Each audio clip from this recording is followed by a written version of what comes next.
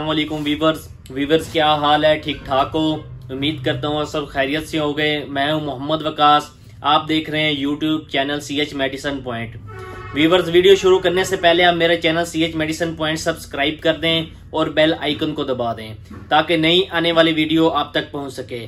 और जो वीवर्स इस चैनल पर नए हैं, वो भी इस चैनल को सब्सक्राइब कर दें और बेल आइकन को दबा दें, ताकि नई आने वाली वीडियो उन तक पहुँच सके। इस चैनल का मकसद मैं आपको मेडिसिन की इंफॉर्मेशन देता हूँ। व्यूवर्स आज हम बात करेंगे उमेप्राजोल साल्ट की। उमेप्राजोल साल्ट किस मकसद के लिए इस्तेमाल होता है? उमेप्राजोल साल्ट में आज मेरे पास दो ब्रांड हैं, एक रेजेक है, जो गेट्स फार्मा ने मैन्युफैक्चर किया है और एक उमेगा जो फ्रोज सन्स ने मैन्युफैक्चर किया है। दोनों ब्रांड बहुत अच्छे हैं मतलब जिन्होंने मैन्युफैक्चर किया बहुत ही कमाल की कंपनी है, पाकिस्तान में चल रही हैं, बहुत ही अच्छे ब्रांड है। वीवर्स आज हम पहले बात कर लेते हैं रेजेक 20 एम की और रेजेक 40 एम की। ये रेजेक 20 M G forty M G इसमें साल्ट आता है उमेप्राजोल इसको किस मकसद के लिए इस्तेमाल किया जाता है? वीवर्स इसको ज़्यादा तौर पे मैदे के लिए इस्तेमाल किया जाता है। मतलब मैदे की जलन सीने की जलन जो होती है वहाँ पे डॉक्टर लोग इसको ज़्यादातर इस्तेमाल करवाते हैं। वैसे भी आज आजकल आम रूटीन बन गई है।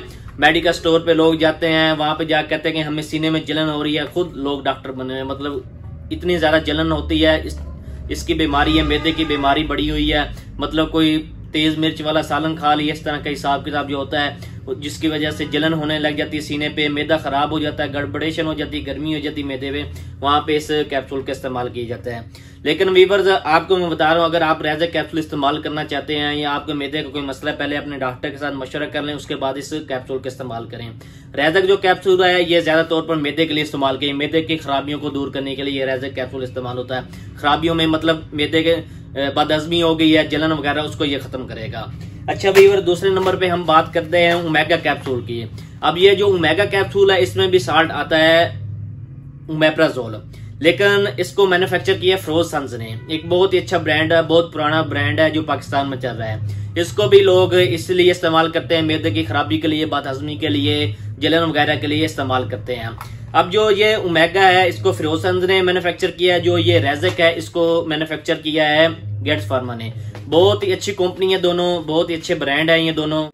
अगर आप कोई मैदे का कैप्सूल मतलब कोई उमेप्राजोल साल्ट में कोई कैप्सूल इस्तेमाल करना चाहते हैं तो अपने डॉक्टर के साथ मशवरा कर लें उसके बाद आप मेडिसन इस्तेमाल करें। ऐसे हरगज मेडिसन इस्तेमाल ना करें। और खास तौर पर जो हार्ट पेशेंट और प्रेग्नेंट औरतें होती हैं वो कोई मेडिसन अपने तौर पर इस्तेमाल ना किया करें। मेगा कैप्सूल है ट्वेंटी एम ये फोर्टी एम इन दोनों कैप्सूलों की जो पैकिंग होती है एक डब्बी में चौदह कैप्सूल होते हैं ट्वेंटी एम भी डब्बी में चौदह कैप्सूल होते हैं फोर्टी एम भी एक डब्बी में चौदह कैप्सूल होते हैं। जो 40 एम है, ये तीन सौ रुपए की डब्बी है, जो 20 एम है, ये है दो सौ साठ रुपए की डब्बी।